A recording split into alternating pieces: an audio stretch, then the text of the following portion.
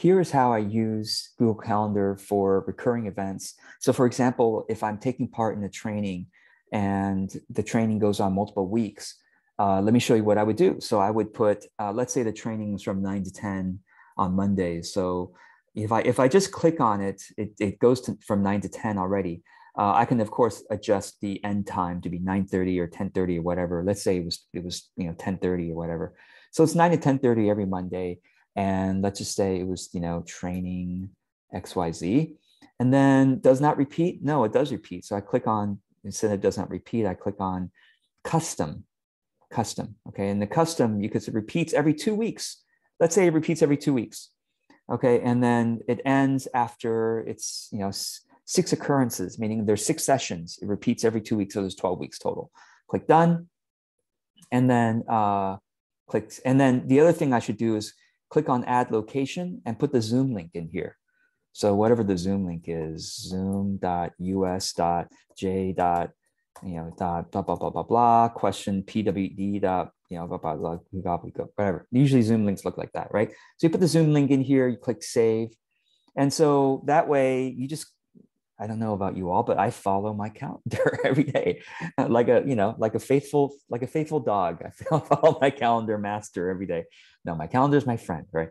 So train uh, my my wonderful assistant. So that way, whenever you are ready to to come in, you just click. I, sh- I think this should work. If I click on this, it will. Um, oh, this is about blah. That's really weird. Uh, oh, I'm sorry. It's because I put in the wrong. I put too many T's in there. HTTP. Okay.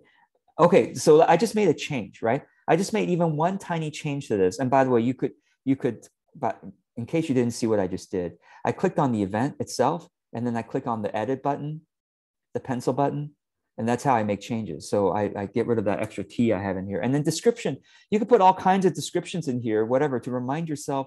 You could even highlight something and click on the link to insert a link, you know, TPS.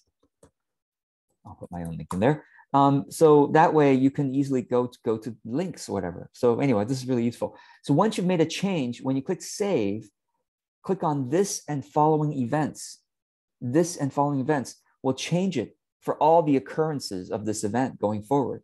And now hopefully the Zoom link will work, right? If I click here, see, yeah, this, this should open up a Zoom link invalid meeting ID. Well, it's because I, I, put in a, a, fake meeting ID in there. That's why it's invalid. But this is how I use it. And I don't know if I, I think some of you probably don't know how to use this. And um, now you do. And so if you ever say, well, George, you know, George changed his training time right in the middle of the thing. And now going forward, it's a different time. No problem. You just click on this pencil. And so George changed it to, you know, 6 p.m. instead, 6 to 7.30 p.m. No problem. Every two weeks on Monday, you know, click save this and following recurring this and following events and click OK and that's done. So I, I get some people who are like, I, I, didn't change the training times. It's just that maybe they didn't realize it had swapped in the middle, given the you know time zone changes or whatever. And I'm like, oh wow, you, I guess you don't know how to change Google recurring events easily. You saw how quickly I did that. I did that within two minutes, and everything's changed going forward. You know, every other week it's all changed. So I hope this helps. And um, I apologize if I sound frustrated because there are some certain things that I've done for so many years that I just thought everybody born in from the womb knows how to do, and that's not true. You know, nobody showed them. So sorry, uh, and thank you, and I hope this was helpful for you as well.